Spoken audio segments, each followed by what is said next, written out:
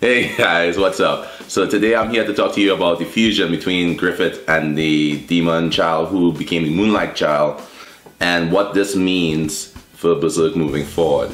So as we know, the demon child was created through the fusion and unity of Guts, Casca, and Griffith, right? And what I meant is like Guts was intimate with Casca prior to the events of the eclipse. After that, and this is just a theory, this is my theory. Yeah, that's great, bro. Who's the man?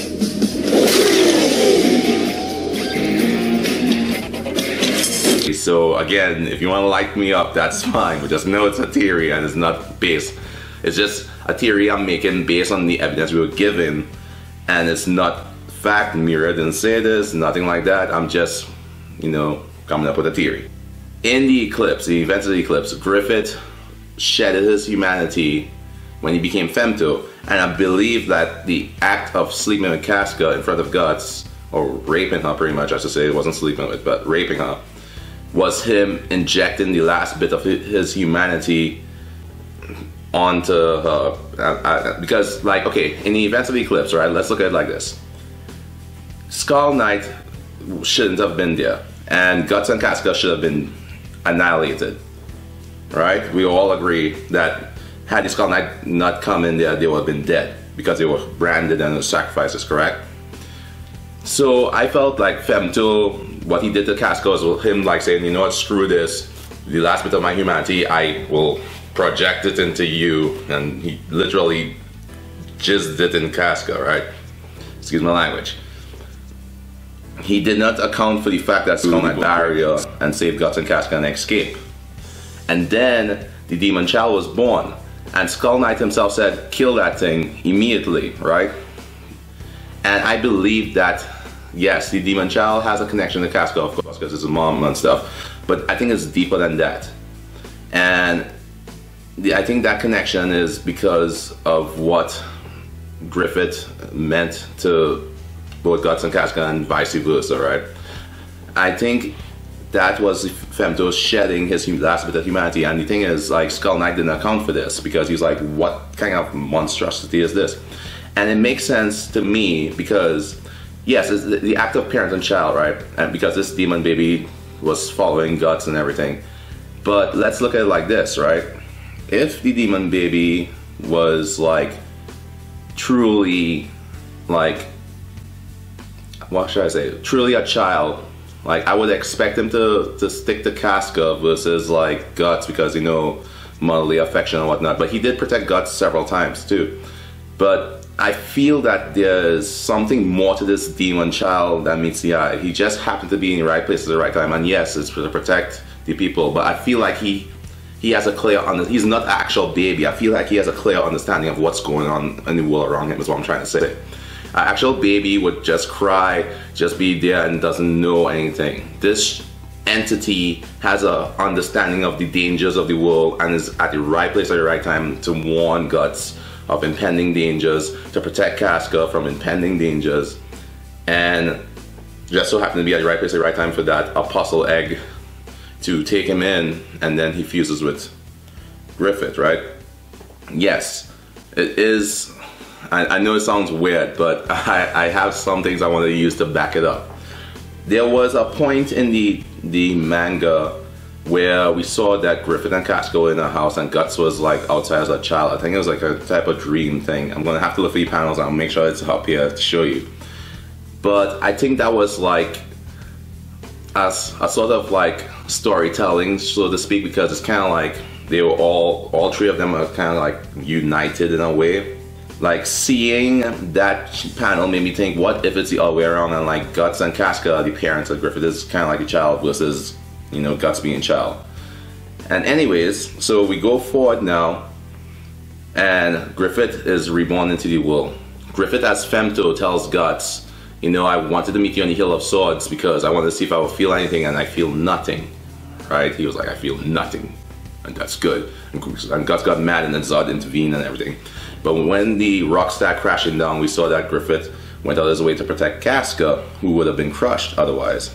And then he himself looked at himself like, well, this is kind of strange, whatever. And then he, we saw the appearance of the Moonlight Child, at several intervals to protect the group and to help the group and everything like that. Again, yes, I get it. A child would want to protect his parents, his or her parents, and I'm not saying that the Moon Knight child is not a child or affiliated in any way with Guts and Casca. I believe there's a fusion there.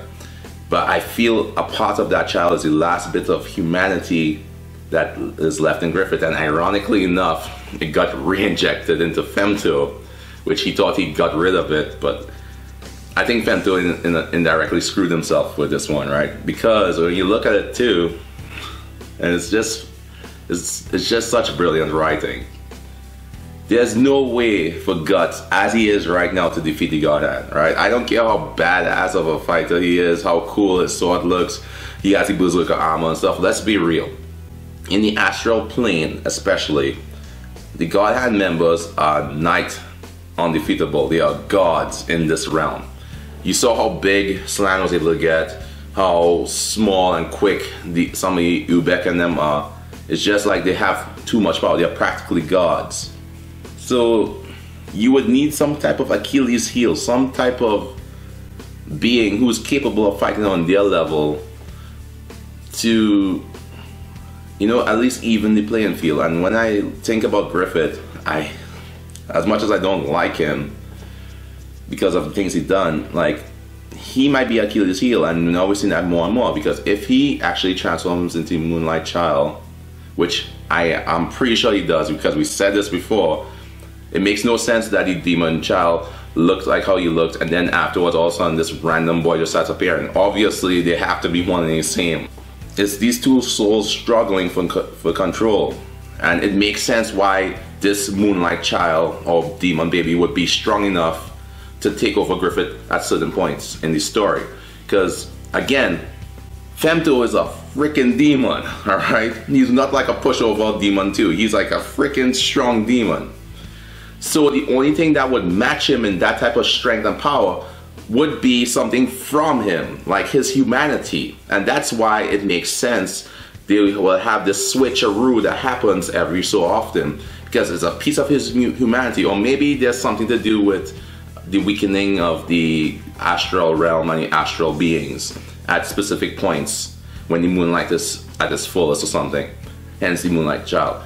So maybe when the moon is out at its fullest, that's the weakest the Godhand members could be. Maybe there's some type of weakness like that. But either way, the fact that we are seeing this you know struggle this internal battle but it doesn't even seem like an internal battle he he kind of seemed like he accepts that and and that's why i think like this moonlight child yes he is guts and casca's baby but i think he's more than that i think he might be a part of griffith too because it's almost as if when griffith's looking at his hair he knew it's going to happen and he's kind of like accepting of it. It wasn't like he was like, ah, no, I don't want to become a little boy again. You know, he wasn't struggling. He was like, oh, it's going to happen. Almost like what we saw with Bruce Banner and Hulk. They, oh shoot, sorry, I can't, never mind. Endgame spoiler, I was, I was messed. Anyway, sorry, go see Endgame. It's a great movie. But um, I feel like there's a fusion going on there that is allowing Griffith to accept part of his humanity. And if that's the case, in the future chapters, this might be the salvation that the characters need, or Guts needs especially, to defeat the God Hand. He might be able to appeal to Griffith's human side versus this demon Femto and help stop the plans that he has set in motion, which I honestly think is not good for humanity whatsoever. It's just everybody now they're seeing the possibility of the Moonlight Child and Griffith being one and the same, which we again it was cl- pretty clear to me at least. And Griffith's acceptance of this thing in him shows that maybe he's looking at that and trying to understand what's going on with himself better. Because he can't like it seems like he can't just rip himself away from it because it's a part of him now, it's part of his core soul. And Godhand members aren't supposed to feel love. They're, they're, they're entities that just do whatever they feel want. You know, they don't understand. Like, I feel like they don't understand humanity, or if anything, they might understand humanity too much, but they just don't feel typical emotions like we do. I'm just thinking from a, a story perspective. Godhand members are way too overpowered. You have to weaken them. The only person who could fight a Godhand member, in my opinion, is like, well, Guts with his sword or another Godhand member. So if the Godhand members have something sinister going on, and you have one of the, those members with the same amount of power as they, or even more, who knows, and he is able to feel what humans feel and, and sympathize and have emotions, maybe he might want to see the world destroyed or given to a, a deity to become some ultimate being or something like that. Maybe he'll want to save the world and, and try to right his wrongs and legitimately care about people and through those actions and feelings, he might take steps and necessary actions to pre- prevent the end of the world. And Griffith's situation is very unique. I don't think anything is, like this has happened. So the outcome is in is anybody's guess at this point. So you guys, please tell me what you think and comment below. Like, do you think that Griffith understands what's going on with him? Are the two souls in Griffith fused. Femto and this entity, the demon child who is the Moonlight Child, who I honestly think is a piece of Griffith, like his last bit of humanity, because again of the understanding and the capability the demon child had from the get go. He understood how to protect Guts. He understood that these demons and stuff were dangerous.